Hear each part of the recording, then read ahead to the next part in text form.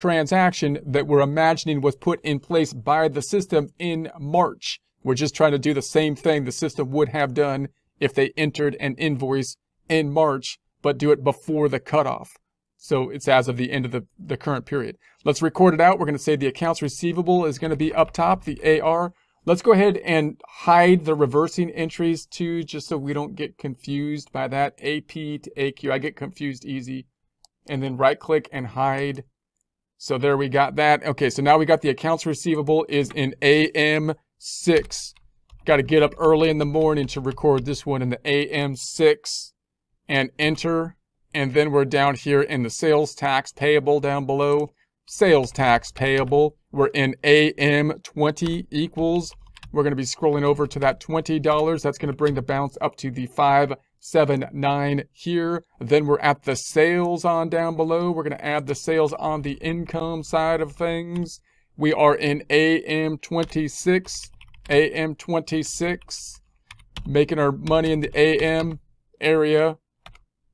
So now we're at the 585451. Uh, then we're going to record the cost of goods sold, the 400. 400 down here.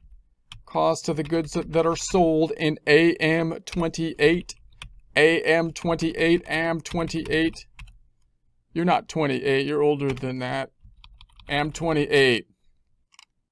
And then we've got inventory. Inventory up there is going to be right here in AM uh, 7 equals, and we're going to be picking up that one.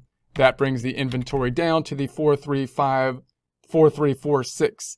So we can see down here the impact on the net income is the difference between these two for this for these adjusting entry of $100 down here on the net income. Here's the total impact of the net income of our adjusting entries thus far.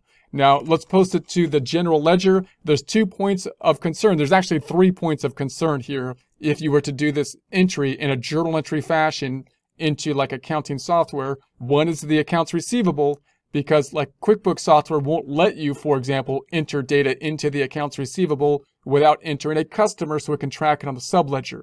Just like with the inventory, I would like not to put it on the subledger because I don't I don't want it messing up the subledger, but QuickBooks forcing you to do that is kind of nice most of the time because that makes it impossible for you to basically or nearly impossible to not have your subledger tie out. So that's one area we have to deal with. The sales tax payable is kind of like an accounts payable account. So that's something that we often track within like a widget type of thing in accounting software. So that's another area where I'm, I'm a little worried to post to the accounts payable because I don't want to mess up their sales tax accounts payable subledger tracker kind of tool that they're going to be using. And then I've got the inventory, which also has a subledger to it that we're going to be a little bit worried about. So we want to keep those three things uh, uh, in mind. So I'm going to record this one to the subledger so we can see it. So let's go over